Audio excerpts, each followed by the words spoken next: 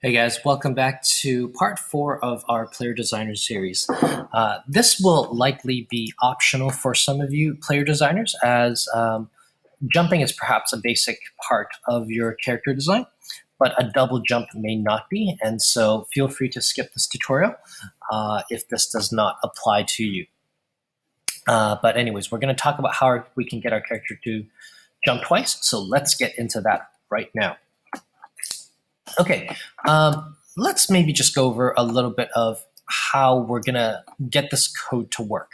And what we're gonna do is we, we have a series of um, different uh, states, I guess, where uh, the character is either standing on the floor, the character is either jumping for the first time, uh, the player has released from their jump button after their first jump. Okay, so they push down on the button, they release from the jump button, and then they press the jump button a second time.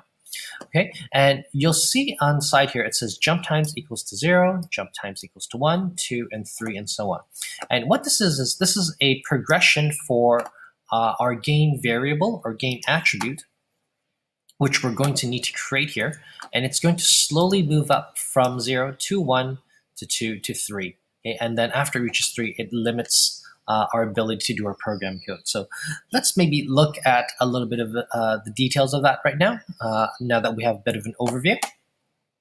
Okay, uh, first thing I'm going to do, let's create this game attribute uh, called, uh, what's it called? I called it jump times.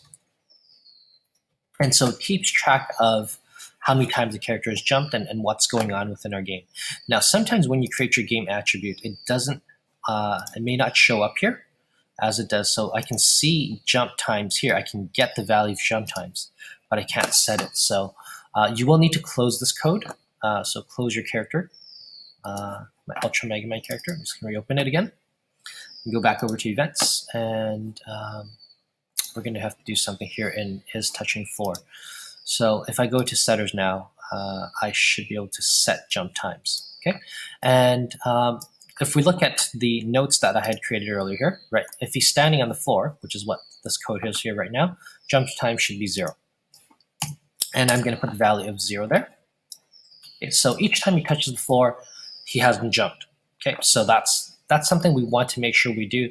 It resets the whole program. So after the character lands, jump times zero, and then that allows uh, that will allow our character to jump again.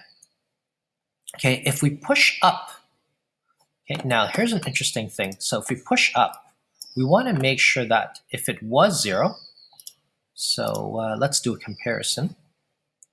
Okay, if the previous value of jump time, so I'm in getters right now, if the previous value of jump times was zero, we're going to set it to 1. Okay, and I'm actually going to jump ahead a little bit.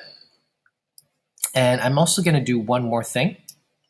Uh, I'm also going to do the same thing if I'm going to do another equals.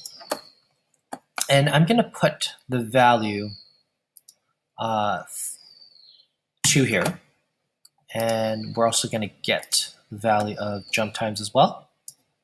So if jump times is 2, we're going to set touching floor to false. Okay, so we got two ifs this time. If it's 0, it becomes 1. If it's 2, he can no longer jump. So set touching floor equals to false now. Okay, uh, so you might think, oh, it's going from zero to one. How does it get from one to two? You know, what, what's what's going on? Why don't we go straight from why is this not a one or why is this not a two? Um, the key part here is um, it's something that we very rarely think about is when we let go of a button and then we want to push back down on the button a second time. So what we actually need to track is when we release from the jump button, then it increases to a new state, in which case then the player can press on the button a second time. So we need to actually track that, and that's where we're going to change it from one to two. And so I'm going to click on Add Event. I'm going to use input this time. And let's see here, when um, mouse, what keyboard, any key, keyboard, yep. Okay, so when the control, when the up button is released, Okay, and we want to make sure that uh, it was the previous state. So if the but up button was released, and let's check here, if it was one, it becomes two. So if our game attribute jump times uh, flow equivalent, so if jump times was one, we're going to set it to two. Set jump times. Okay, so I'm just going to put this into here. Set jump times to 2. Okay, so now we've set up all the code for this entire flow that I've described at the beginning, right? So first part was down here is touching floor, set jump times to 0. Uh, jump, these two parts, setting it, going, setting it to 1, setting it to 3. Okay, and then when we release, so I'm to just rename this to release. Okay, let's try this out. Uh, it's really important to uh, make sure you guys are testing your code out to make sure what you've created actually works uh, because until we've tested it and tried it out ourselves, uh, we don't really know if the code is actually working or not. Okay, uh, I have tried this out before, and let's just try this out. Oh, he's just flying up in the air. Okay, so he is flying up, um, but if we let go and we jump a second time, he can jump, okay? So it's nearly working, but he can continuously fly up. So let's prevent that from happening. And so uh, what we'll need to do is, um, let's see here. It's, it's uh, let's look at what maybe why that's happening uh, to understand how we can fix it. So as we hold on to up button, the speed increases. If it's zero, becomes one. So what we'll also need to do is um, as soon as we push this, we also want to make sure that, hey, um, if it's if it becomes one, we don't want to repeat this operation here. And so uh, what we can actually do is I can actually just limit this by using two copies of this. So I can set this. And so when it becomes one, this won't be zero and the speed won't increase anymore. And I'm just going to repeat this code one more time here. And so this will this is actually the part that where the character where it causes the character to jump. And so because it's inside these two ifs, as soon as the if uh, as soon as it performs this action, this causes the condition itself to become false. Or in this case, this causes the greater condition at the very top to become false. So let's try this out. Um, it might take your head a little bit to think about what's going on and why this is working.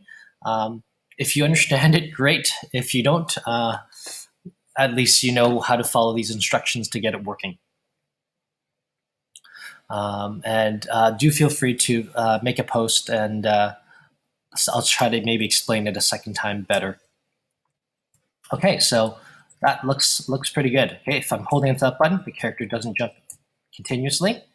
Okay, but if I hit that button, let go, and then jump again, he does perform the double jump as uh, we looked at.